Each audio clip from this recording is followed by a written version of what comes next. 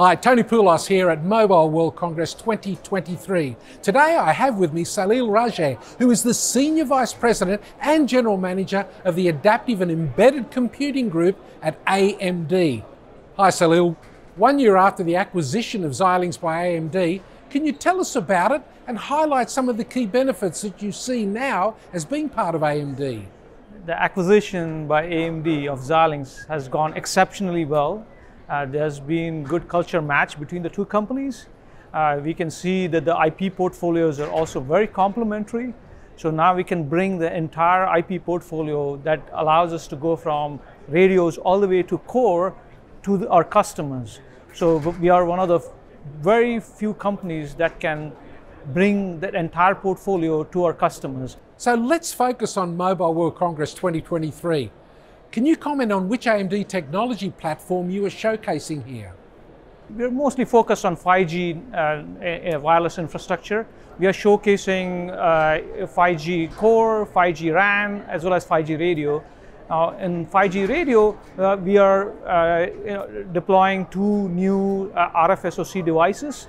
these devices can be deployed in 4T4R or 2T2R, as well as 3GPP 8 split radios platforms. Uh, we are also showcasing you know, vRAN technology with some of our partners. Uh, and you know, we, if you see, uh, you know, go to our booth, we have 13 radios from all different vendors that are deploying our technology. So Salil, ORAN is still a buzz in the industry, but what's your view on this? Where are we at?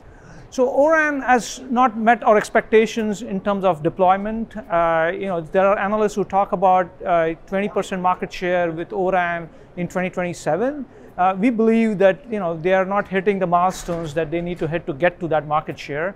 And nevertheless, ORAN we believe is the future. Uh, you know, it allows people to uh, the ecosystem to come in, uh, you know, with disaggregated infrastructure to come in and innovate.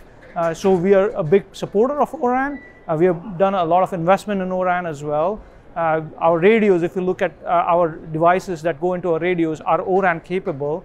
Uh, but at the same time, we are also focused on the traditional infrastructure that is more custom built, purpose built infrastructure as well. And what's your view on the 5G radio market evolution for the next few years? What do you see happening?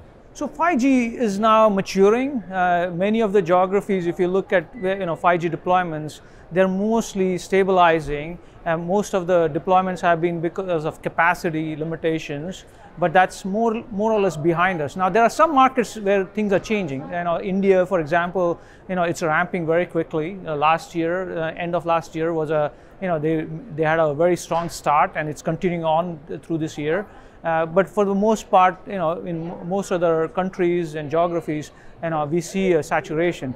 Now, Things will change though as new applications get built. You know, we are still looking for the killer app you know, to be deployed on 5G. Once that comes in, you know, we will see another refresh cycle of 5G and then we'll get into advanced 5G and, and, and, and, and beyond. Thanks, Salil. It's been great having you with us today. Thank you. Thank you.